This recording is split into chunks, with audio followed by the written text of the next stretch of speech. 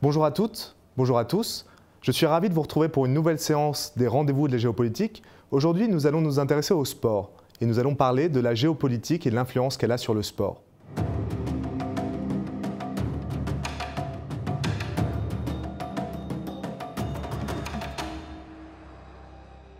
Fabrice, bonjour. Bonjour Olivier, bonjour à toutes et à tous. Alors, avant de rentrer vraiment dans le vif du sujet, il faut quand même rappeler une chose à nos étudiants dont ils n'ont pas conscience, c'est que le sport, avant de devenir ce phénomène démocratisé et accessible à tous, avec euh, ces tarifs des transferts qui sont exorbitants sur le marché, on peut le voir aujourd'hui dans le football par exemple, a été un phénomène assez confidentiel. Le sport était réservé à une élite et il a fallu les masses médias pour que ça se démocratise et donc que ça soit accessible à tous. C'est juste, et les deux dimensions que vous soulevez euh, sont effectivement très importantes parce que pour que la géopolitique ait une influence euh, dans le sport, encore faut-il que le sport soit un phénomène de société installé. Or, euh, vous avez là aussi raison de souligner que parfois nos étudiants, nos apprentis mesurent mal le fait que le sport est rentré très tardivement comme phénomène sociétal. Mmh. à l'échelle de l'histoire humaine, il faut attendre pratiquement la fin du 19e siècle avec justement l'émergence des, Jeux olympiques, alors ce qu'on appelle les, Jeux olympiques modernes, la première session des Jeux olympiques modernes qui vont avoir lieu euh, au printemps 1896, créée par le baron Pierre de Coubertin. Et c'est seulement à partir de ces Jeux olympiques modernes en 1896 euh, qu'on va avoir finalement une rentrée progressive euh, du sport qui va aller ensuite en s'accroissant.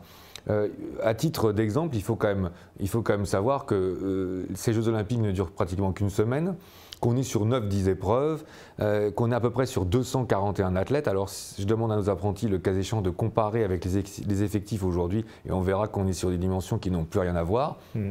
Et en plus, il faut rappeler que même si ça, ça rentre comme un phénomène sociétal, ça reste encore relativement élitiste, puisque lors du premier congrès euh, qui se réunit et qui va créer le CIO, euh, on interdit aux sportifs professionnels de participer. Ils ne sont pas très nombreux, mais c'est important. Donc ça reste très élitiste, puisqu'il faut avoir du temps libre à l'époque pour pouvoir faire du sport.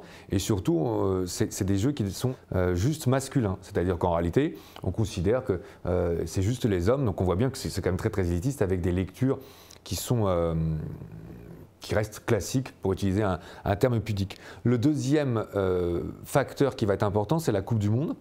Or, la Coupe du Monde de football, sa première édition n'est qu'en 1930 finalement. Donc quand on, voit aujourd'hui qu'on est en 2017, ça veut dire qu'on n'est même pas sur 100 euh, ans de projection.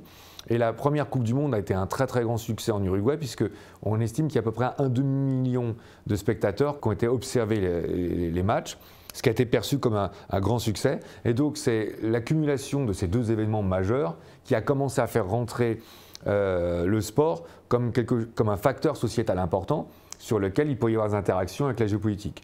Après, il y a une troisième dimension sur laquelle on, reviendra par la suite, mais qui est beaucoup plus tardive, c'est le fait qu'il y a, une, augmentation euh, des professionnels ou de la professionnalisation du sport et du fait que même maintenant les sportifs qui vont aux Jeux Olympiques sont des professionnels.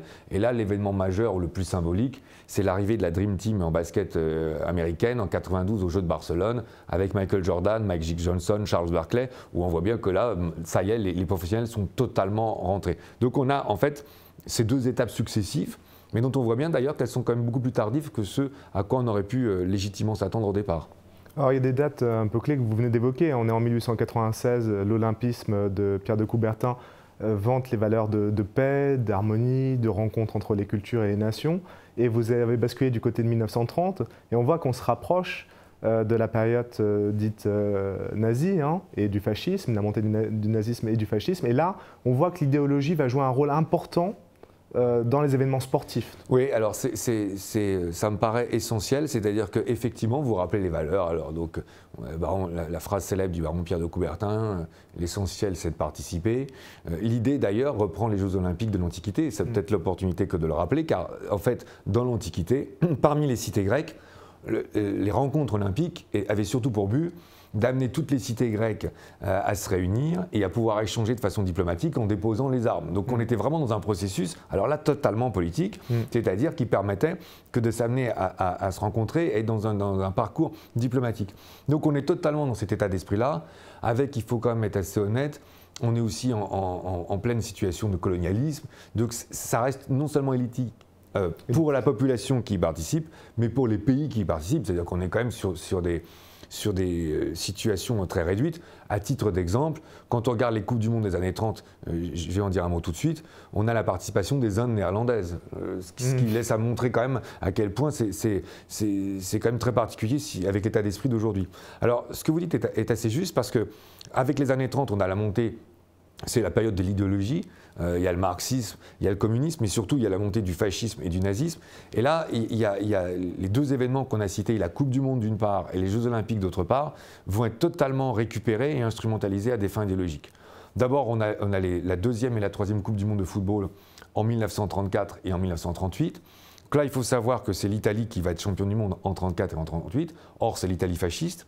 Et ce qui est assez intéressant, c'est que alors Benito Mussolini est, déjà un fan de football, et comme la Coupe du Monde a lieu en Italie, euh, il va assister à tous les matchs dans une ambiance que je laisse subodorer euh, en termes d'environnement. D'ailleurs, avec le recul aujourd'hui, on voit bien que l'arbitrage a, favorisé l'Italie de façon euh, bah, évidente ou éhontée, qu'il y a des polémiques alors c'est une époque où, on ne va pas au pénalty, donc on rejoue des matchs. Euh, il y a eu un Italie-Espagne où il y a neuf joueurs qui ont été blessés. Enfin, euh, Aujourd'hui, ça, relèverait presque plus du burlesque que du sport, pour mm. être honnête. Et donc les Italiens finissent par être champions du monde. ils, ils, sont à nouveau champions du monde en 1938. Et là, il y a une symbolique qui me paraît très importante parce que l'affiche officielle de la Coupe du Monde 1938, c'est un joueur dont on voit finalement que le bas, dont on sent euh, objectivement qu'il est revêtu de tenues sombres. Il a, le pied gauche, je crois, qui est posé de façon très dominatrice sur le ballon, qui lui-même surplombe la planète. Ça donne une, dimension, euh, comment dire, de puissance, d'ego ou, de, volonté d'hégémonie hmm. qui nous éloigne vraiment des logiques du sport, du partage, et dans lesquelles on sent bien qu'on est dans les logiques euh, fascisantes des années 30. D'ailleurs, l'Italie est en finale, et il faut quand même savoir que Benito Mussolini, la veille de la finale, va envoyer un message qui n'est pas totalement l'adéquation avec la, symbolique du baron Pierre de Coubertin, c'est le moins qu'on puisse dire, puisqu'il dit à ses joueurs vaincre ou mourir. Donc là, c'est quand même assez euh, brutal. Donc les Italiens vont être champions du monde. Et c'est l'une des rares fois où d'ailleurs ils seront plutôt en tenue noire qu'en tenue bleue telle qu'on la connaît aujourd'hui, ce qui montre bien une implication assez forte. Et dans la continuité de nos propos, on a les Jeux Olympiques de Berlin en 1936. Alors ce qu'il faut savoir, parce que ça peut étonner aujourd'hui qu'on ait pu accorder les Jeux Olympiques à l'Allemagne nazie, c'est qu'en réalité les Jeux Olympiques ont été accordés à l'Allemagne en 1931. Donc mmh. en fait deux ans avant qu'Hitler arrive au pouvoir, qu'il y a eu une première polémique en disant est-ce qu'il faut maintenir les Jeux? Et les Jeux ont été maintenus. Et alors, ce qui est intéressant, c'est que là, il y, a, un phénomène qui est peu connu, c'est que, bien sûr, les Allemands vont profiter de, ces Jeux olympiques euh, pour montrer, de leur point de vue, à quel point l'Allemagne est physiquement supérieure à tous les autres pays. Donc là, on est complètement à l'opposé de ce qu'était légitimement euh, la démarche. D'ailleurs, il y a une chose qui est peu su, c'est que c'est sur les Jeux olympiques de Berlin qu'on a commencé à compter les médailles. Avant, on ne comptait pas les médailles, c'est-à-dire qu'on, c'est un peu euh, l'esprit qu'on a au rugby pendant très longtemps, c'est-à-dire qu'il n'y avait pas de classement il y avait une remise, un podium, mais on n'avait pas un classement général qui montrait quelle était la progression des pays.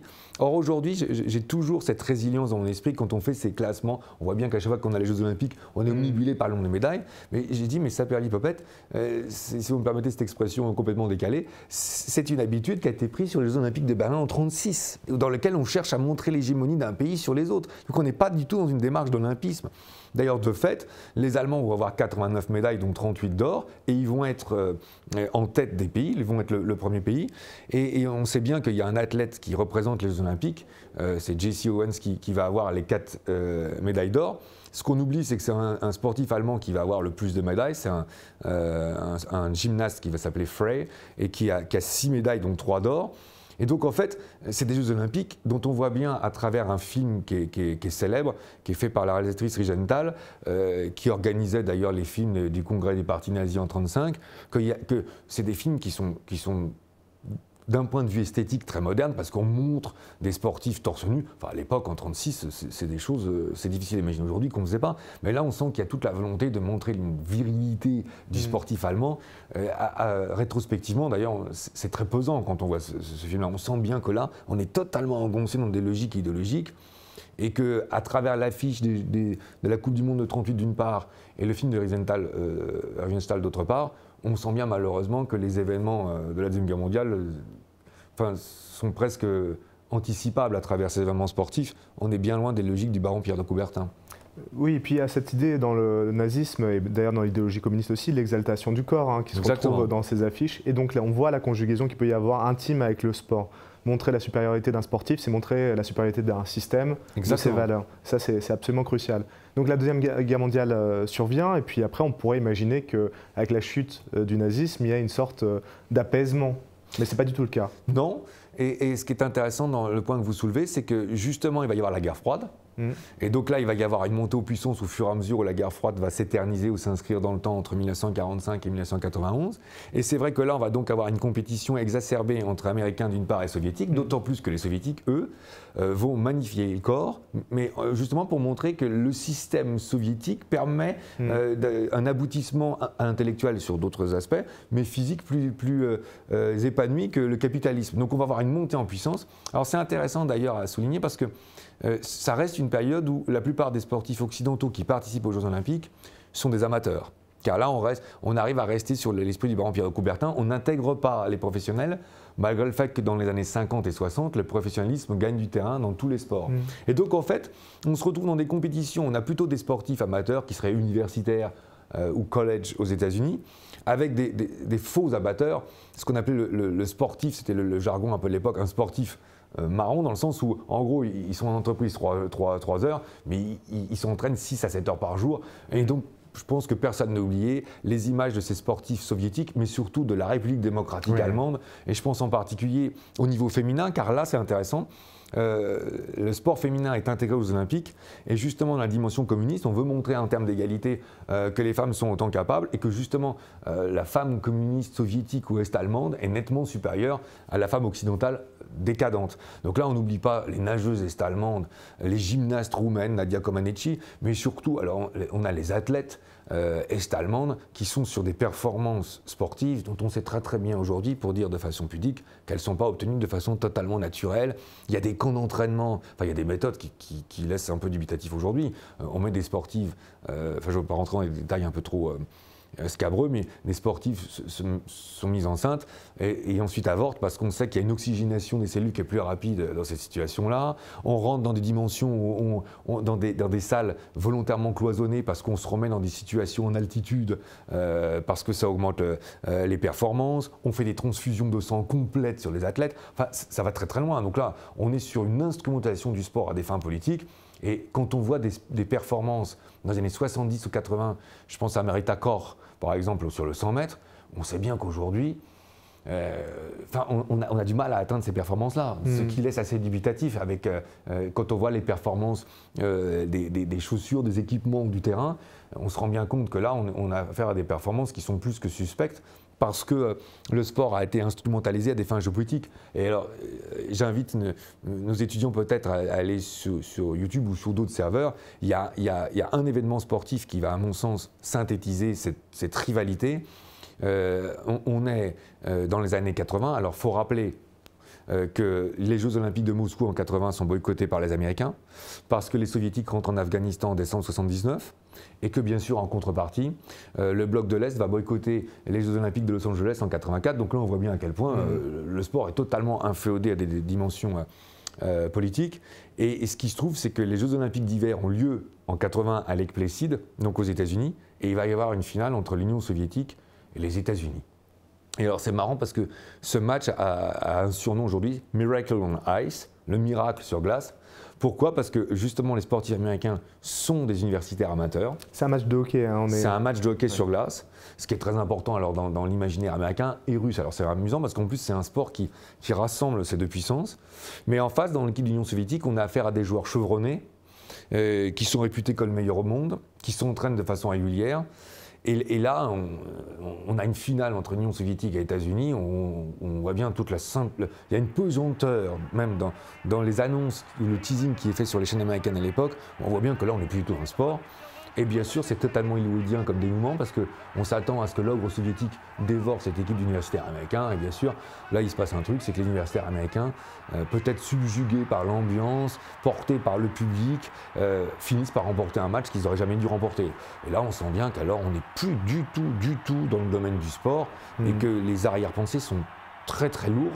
Ce qui fait malheureusement comprendre que le sport, dans des situations de tension diplomatique, n'obéit plus du tout à des démarches d'ouverture culturelle sur autrui. On, est, on voit bien qu'il y a un mouvement qui accompagne l'histoire. Hein. La politique et le sport sont liés. Le sport n'est pas hors sol, lié, lié à l'histoire politique. Donc on arrive à un, moment historique où l'Union soviétique disparaît. On pourrait penser que les tensions géopolitiques vont euh, s'adoucir, s'apaiser. Euh, l'exemple récent des accusations contre la Russie et du dopage d'État montre que les choses perdurent au-delà de l'Empire et des, régimes euh, anciens. où on en est aujourd'hui au niveau du sport, de la relation avec la géopolitique? Alors, paradoxalement, je trouve que là, c'est vrai que c'est un vrai paradoxe. On aurait pu penser que ça soit une dynamique qui aille en s'amplifiant puisque d'abord on est passé de 50 États à 200 États à l'ONU, pratiquement, il faut le rappeler, de 45 à nos jours, d'abord. Qu'ensuite, on voit bien qu'il y a un retour de la géopolitique depuis 10 ans en termes de conflits et de tensions. Mais euh, en réalité, ce qui se passe, c'est qu'on est sur des phénomènes qui sont quand même plus, euh, plus diffus ou, plus concentrés. On n'est plus sur les, grands affrontements idéologiques des années 30 ou de la guerre froide. Donc en fait, euh, il y a trois phénomènes, à mon sens, qui se passent dans une époque qu'on qualifiera de plus moderne. Bon, d'abord, il y a des résurgences du nationalisme c'est mhm. clair. Franchement, un match de football France-Allemagne, ça reste très très très particulier. Peut-être un peu moins aujourd'hui, les jeunes générations y sont moins attentives. La rencontre entre la France et l'Allemagne en 2014 est moins chargée de symbolique et d'émotion. Mais enfin, on se rappelle quand même que la rencontre de Silly en 82 mm. entre la France et l'Allemagne avec Batiston qui part euh, parce que Schumacher lui, casse la mâchoire. Enfin, il y a un journal français qui avait quand même mis une croix gammée sur le maillot de Schumacher. Donc, mm. euh, il y a des résurgences qui viennent de façon très forte comme ça. Il y a eu le match de 86. Bon. En rugby, il y a France-Angleterre. Et les Anglais n'hésitent jamais à, à nous taquiner un peu en mettant Remember Waterloo. Donc on sent que euh, là, alors c'est du deuxième degré, mais on, sent quand même que là, il, peut y avoir des résurgences. Et puis plus sérieusement, il y a eu un match entre l'Argentine et l'Angleterre dans la Coupe du Monde de 86 qui vient après le conflit sur les Falklands dans les années 80 avec Margaret Thatcher qui fait intervenir l'armée britannique contre la dictateur argentine. Et là, on sent qu'il y, a des remontées épidermiques qui arrivent bon, de façon euh, ponctuelle. Il faut aussi rappeler euh, que les Jeux Olympiques, vous avez évoqué le, scandale du dopage russe. Il y a une chose qui avait été assez choquante sur les Jeux Olympiques de Pékin en 2008. Je trouve que peu d'observateurs l'avaient souligné, mais le drapeau des Jeux Olympiques est porté par deux militaires qui marchent dans un, dans un pas euh, euh, symétrique, qui fait d'ailleurs rappeler un peu les, les pas des années 30. Et c'est quand même un paradoxe que de voir l'armée chinoise apporter le, le, drapeau. Et là, on voit bien d'ailleurs que les Chinois ont, ont entraîné ou surentraîné leurs athlètes pour qu'en termes de médaille d'or, ils soient supérieurs aux Américains, ce qui n'était jamais arrivé. Donc on, hmm. voit bien que là, ça revient aussi de façon résiliente. Mais par contre, je pense que ce qu'il faut intégrer, c'est qu'il y, a une nouvelle perspective, c'est que le sport euh, intègre plus des, des, dimensions politiques, mais internes ou sociétales. C'est-à-dire qu'en gros, là, on est plus sur des réflexions qui seraient internes au pays plutôt que sur une rivalité euh, de pays à pays. Euh, la première image qui me vient spontanément à l'esprit, et qui est assez célèbre là aussi, lors des, Jeux Olympiques de Mexico en 68, c'est ces deux athlètes américains qui, au moment des hymnes, euh, baissent la tête et surtout tendent le bras avec un bras ganté en noir pour montrer le fait qu'il y, y, a un refus ou il y a une contestation de la population afro-américaine face à ce qu'ils considèrent comme une non-intégration de fait dans la société. D'ailleurs, là, il y a eu un événement récent, c'est un mouvement qui a tendance à ressurgir euh, sur la NFL ou le football américain. Euh, il y a un quarterback, euh, Kaepernick, qui refuse de chanter l'hymne américain et qui même s'assoit ou, refuse d'être en stand-up. ça, ça a fait scandale en 2016 dans, la NFL, donc c'est un phénomène qui a tendance à être en résurgence avec les paramètres de la société américaine. On a aussi euh, Cathy Freeman, je trouve que ça a été assez fort sur les Jeux Olympiques de Sydney, euh, qui est porté par le peuple australien, parce qu'il faut quand même être honnête, le peuple australien a massacré les aborigènes. Or, Cathy Freeman est l'une des rares aborigènes. Et en réalité, la société australienne euh, souhaite un peu se faire excuser ou revenir en termes de symbolique. Donc, elle a été le porte-drapeau de, de la délégation australienne. Et puis, au niveau des hymnes, il y a deux choses qui sont intéressantes, tant dans l'hymne sud-africain que dans l'hymne néo-zélandais aujourd'hui. On a des hymnes qui sont plus purement en anglais, mais qui sont en quatre langues pour l'hymne sud-africain ou en deux langues pour l'hymne néo-zélandais. Et puis il y a le fameux haka, qui est censé justement montrer le fait que la culture maori est totalement intégrée dans la culture néo-zélandaise et qu'elle est même mise en vertu ou en, symbolique forte. Donc on, a un sport qui, est plutôt traduit maintenant des évolutions sociétales, euh, ce qui me paraît assez intéressant, même si à chaque fois on, a des résurgences qui peuvent revenir sur des tensions diplomatiques telles que vous les soulignez.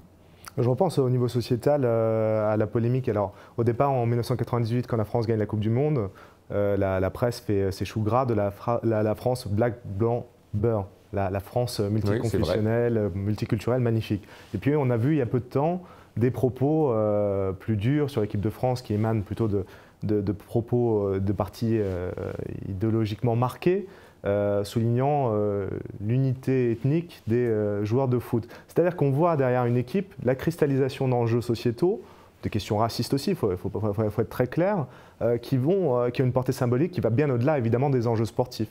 Et je pensais en vous écoutant à une autre chose, c'est quand on regarde le nombre de ministres ou de politiques qui sont des anciens sportifs, rien que dans le paysage français, c'est assez impressionnant. C'est des gens qui portent quelque chose. Oui, il y a une symbolique qui est très très forte. Alors quand, vous évoquez la, victoire française en 1998 telle qu'elle a été célébrée, euh, si on est objectif, faut quand même rappeler qu'en Europe, euh, on n'avait pas toujours un regard aussi euh, ouvert, aussi clément envers cette équipe.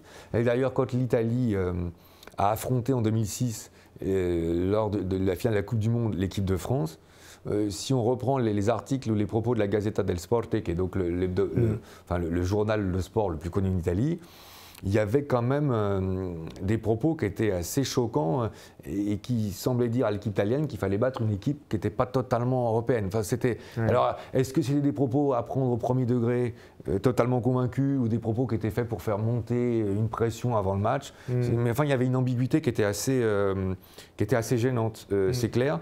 Et ce que vous dites est, intéressant. Euh, l'espoir réside dans le fait que, parce que là on parle beaucoup de Coupe du Monde, l'événement euh, footballistique le plus important de nos apprentis, c'est aussi la Ligue des Champions.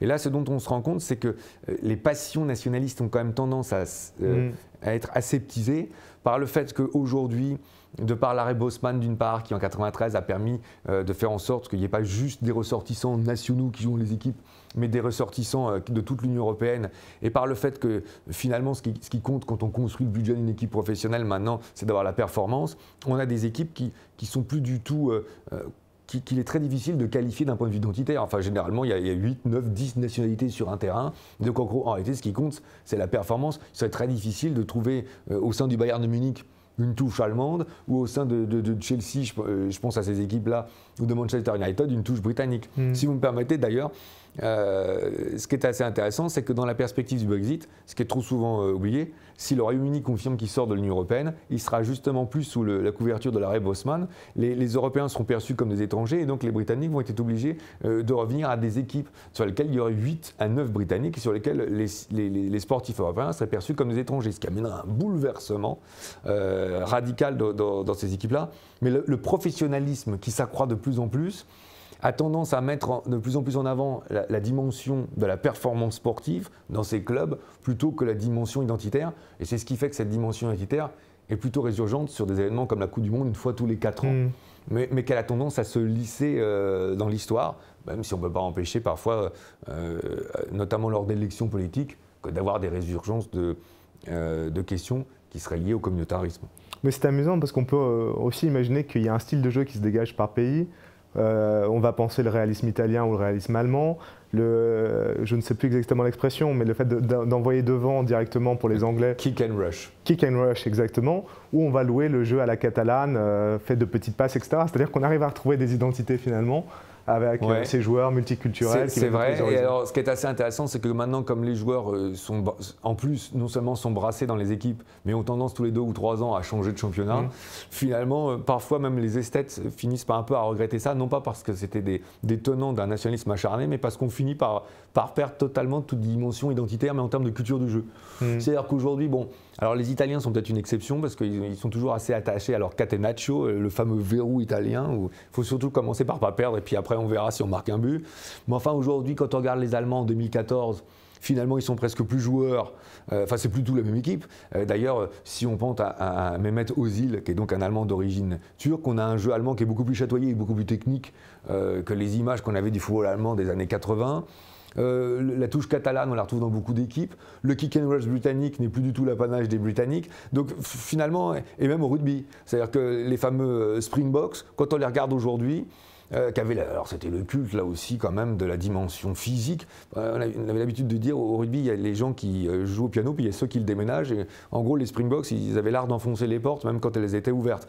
Donc aujourd'hui, au rugby, ça se perd. C'est-à-dire qu'aujourd'hui, on avait le fameux French flair, le pragmatisme britannique, et aujourd'hui, on a l'impression qu'à cause des performances sportives, tout le monde a tendance à, copier le jeu du voisin, mm. parce que l'exigence en termes de résultats nécessite euh, que euh, finalement on perde un peu l'identité culturelle. Donc l'ensemble de ces paramètres, finalement le professionnalisme, un peu à la surprise du baron Pierre de Coubertin, ça pourrait peut-être être ça notre, notre approche de conclusion, finalement le professionnalisme a amené un, euh, un lissage parce que les joueurs rentrant dans plusieurs championnats et pratiquant un, sport qui est censé quand même arriver à l'efficacité avant tout, ont tendance à intégrer des paramètres, alors qu'en réalité le sport auparavant était beaucoup plus cloisonné. Donc on peut espérer peut-être à, moyen long terme que ça sera plus difficile d'appréhender d'un point de vue nationaliste euh, le sport qu'auparavant, même si aujourd'hui on remarque une chose, c'est que la Chine investit considérablement au niveau du football et que Xi Jinping a clairement dit que l'objectif était que la Chine soit championne du monde sur les 20 prochaines années. Et là on voit bien qu'il y a aussi une dimension assez forte pour la Chine que de montrer qu'elle est définitivement intégrée comme une grande puissance euh, dans le monde du 21e siècle. Fabrice, je vous remercie. Je trouve ça très intéressant. On, a, on peut voir qu'au cours de la séance, on a glissé d'une question du hard power avec les idéologies, avec les affrontements guerriers militaires, au soft power qu'incarnerait le sport et dans lequel la mondialisation vient aussi se greffer, puisque, vous, comme vous l'avez dit, il y a une sorte d'uniformisation qui se crée des styles de jeu, des philosophies de jeu au sein du foot, mais aussi dans d'autres disciplines. Merci encore, Fabrice. Merci à vous, Olivier. Je vous remercie de nous avoir suivis. On se retrouve très prochainement pour une prochaine séance des rendez-vous de la géopolitique. Merci à toutes et à tous.